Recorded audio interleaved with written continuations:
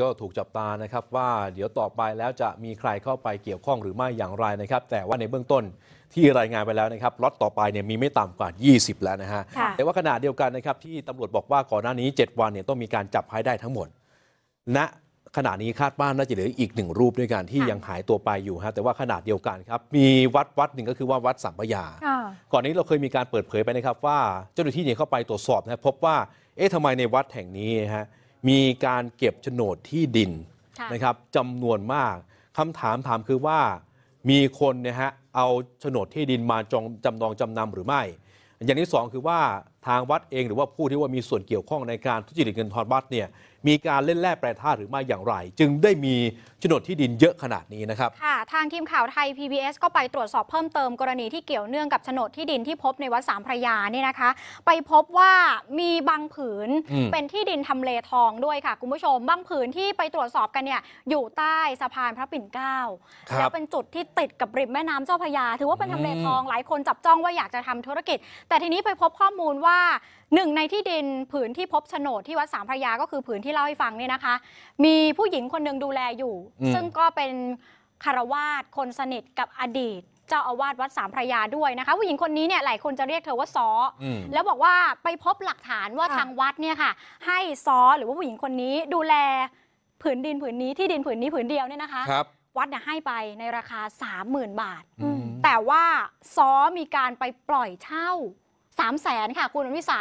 ราคานี้เพิ่มขึ้นอืมเป็นเท่าตัวนะคะ แล้วก็มีเสียงเรียกร้องจากผู้ประกอบการที่อยู่บริเวณโดยรอบจุดที่ระบุว่าเป็นที่ดินที่อยู่ในความครอบครองของวัดสามพระยาเนี่ยนะคะ มีเอ่อเขาเป็นเขาเรียกว่าเป็นเจ้าของธุรกิจ ครับเขาระบุว่าก่อนหน้านี้เคยมีความพยายามอยากจะไปเช่า เออ แต่มันไม่ไหวจริง ๆ นอกจากเช่าเดือนละ 3 0 0แสนมีการเรียกรับเงินด้วยบอกว่าขอล่วงหน้าก่อน 2 เดือน อืม หลักๆ แล้วถ้าจะไปเช่าผืนนี้ก็ต้องมีเงินไม่ต่ำกว่า 1 ล้านบาท ดังนั้นก็เลยเป็นข้อพิพาทว่าเอ๊ะ มันเป็นมูลค่าที่ดินที่สูงเกินจริงค่ะค่ะก็เลยไปเจอความผิดปกติขึ้นเส้นทางทางการเงินค่ะของสามพระยาพอกลับมาดูที่วัดสะเกต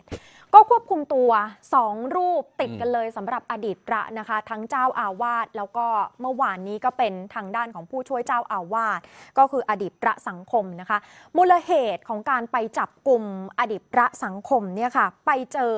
แนวทางการสืบสวนไปพบความผิดปกติของเส้นทางทางการเงินเหมือนกันค่ะนะคะ อดีตพระสังคมเนี่ยคล้ายๆ กับว่าไปร่วมก่อเหตุกับเจ้าหน้าที่ของสำนักพุทธอืม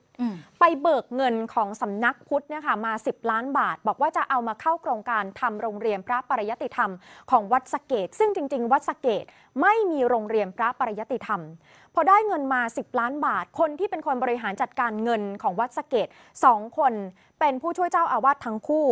ก็คืออดีตพระสังคมกับพระวิจิตรธรรมาพรณ์ซึ่งถูกจับกลุมไปตั้งแต่วันแรกแล้วที่ครับมีการเข้าไปตรวจค้นที่วัดสะเกตนะคะ พระทั้งสองรูปนี้ก็เป็นคนที่จัดการถ่ายเทเงินค่ะ ไปที่อื่นโดยที่ไม่ได้มีการจัดทำโครงการเกี่ยวกับโรงเรียนพระปริยัติธรรมใด ๆ ทั้งสิ้นเลยนะคะ โดยพระทั้งสองรูปเนี่ยจะจ่ายเงินออกไปในรูปแบบของแคชเชียร์เช็คค่ะ คือออกมาเป็นในรูปของแคชเชียร์เช็คเพื่อที่จะฟอกค่ะ คล้ายๆ กับว่าพรางเป็นในรูปแบบอื่น แล้วก็ให้ฆราวาสอีกคนหนึ่งก็คือนายทวิช สังข์อยู่ เป็นเจ้าหน้าที่ของวัดสะเกตซึ่งถูกจับกลุมไปก่อนหน้านี้เนี่ยไปเบิกเงิน คือเอาแคชเชียร์เช็คเนี่ยไปเบิกเงินมา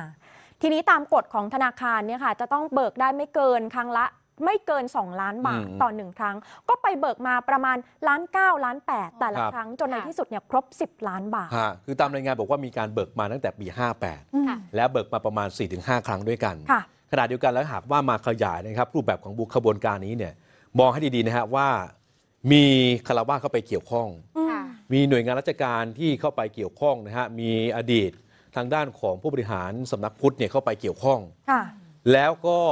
อย่างที่วัดสาเกตเองนะครับที่ได้เห็นอย่างชัดเจนเลยก็คือว่า รูปแบบนั้นนะฮะปรากฏว่ามีการเหมือนไปตั้งบริษัท บางอย่างขึ้นมาที่เกี่ยวข้องกับการทำสื่อค่ะนะฮะอ้างว่ามีการโอนมา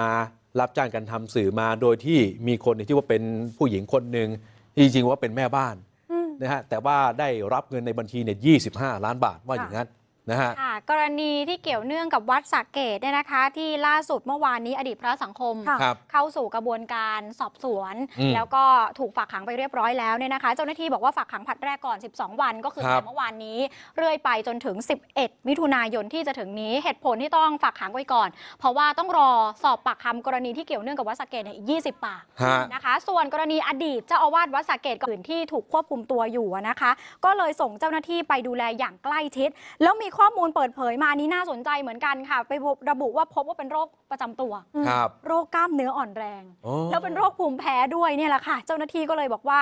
อยู่ในความดูแลอย่างใกล้ชิด แล้วก็อยู่ในแดนแรกรับครับ มีเพื่อนๆที่อยู่ในแดนนั้นประมาณ 10 กว่าคน เออถ้าเกิดพูดถึงอาการเจ็บป่วยไม่ใช่เฉพาะอย่างพระรูปล่าสุดใช่ไหมฮะ ที่ตอนนี้เนี่ยก็เป็นคารวะไปแล้ว ค่ะค่ะ ที่ถูกคุมขังเขาอยู่เนี่ยฮะก็จะเห็นนะฮะว่าเป็นโรคอะไรบ้าง อืม อย่างบางทีนายสุวิทย์นะฮะอดีตพระพุทธอิสระเนี่ยค่ะ เข้าไปก็มีปัญหาเรื่องของ เกี่ยวกับกระดูกเหมือนกันด้านหลังเหมือนกันค่ะที่ตามรายงานเลยบอกว่าอาจจะต้องใช้รถเข็นด้วยเหมือนกันนะฮะแต่ว่าในส่วนของนายสุวิทย์เนี่ยก็ไม่ได้ใช้สิทธิ์ในการต่อสู้ ต้องบอกให้ว่าทุกคนนี่คือว่ายังบริสุทธิ์อยู่นะฮะ รอศาลตัดสินก่อนนะครับว่าตกลงแล้วคดีนี้เป็นอย่างไรนะครับค่ะยังมีอีกคนนึงตอนนี้ก็เลยเหลือแค่คนเดียวครับต้องบอกว่าเป็นรูปเดียว เพราะว่ายังเป็นเออพระสงฆ์อยู่นะคะ ที่ยังอยู่ในระหว่างหลบหนีค่ะ พระพรหมเมธี ผู้ช่วยเจ้าอาวาสวัดสัมพันธวงศารามนะคะ ที่ศาลอนุมัติออกหมายจับ แล้วก็ตอนนี้ยังอยู่ในระหว่างการหลบหนี แต่ความคืบหน้าล่าสุดมีรายงานยังไม่ได้รับการยืนยันจากฝ่ายความมั่นคงเหมือนกันบอกว่า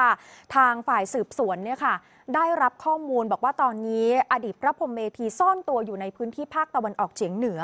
โดยในายตำรวจชั้นผู้ใหญ่ในคดีนี้ก็กำลังเดินทางไปรับตัวครับนำมาที่กองปราบปรามเดี๋ยววันนี้ดูว่าจะเป็นแบบนั้นหรือเปล่า เพราะว่าวันแรกที่มีข่าวว่าอดีตเจ้าอาวาสวัดสะเกตจะมอบตัวก็มีข่าวออกมาแบบนี้แล้วมอบตัวจริง ๆ นะคะ แต่ว่าก่อนหน้านี้อดีตพระพรหมเมธีหรือว่าพระจำนงเอี่ยมอินทราเนี่ยค่ะ ทางด้านของฝ่ายสืบสวนก็ไปเจอว่าหลบหนีแล้วก็ไม่ได้ติดต่อขอเข้ามอบตัวตลอดหลายวันที่ผ่านมา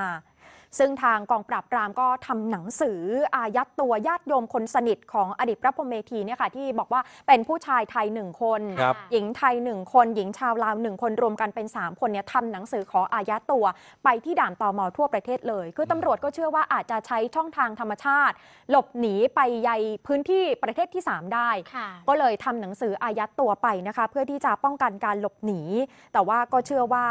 มีผู้เกี่ยวข้องเป็นญาติโยมเนี่ยแหละ อืม ให้การช่วยเหลืออยู่ เดี๋ยวดูฮะ ว่ามีความคืบหน้ายังไงต่อวันนี้คค่ะ รับและตอนนี้ยังไม่ทราบนะครับว่าที่ผ่านมาเนี่ยพระไปหลบซ่อนอยู่ที่ไหนอย่างไร ค่ะอาจจะใช้เป็นกรณีตัวอย่างครับหากว่าไปเกิดขึ้นในอนาคตข้างหน้าฮะจะได้ทราบว่าครับการหลบหนีอยู่ที่วัดไหมหรือว่าไปกับสิทธิเอกกันแน่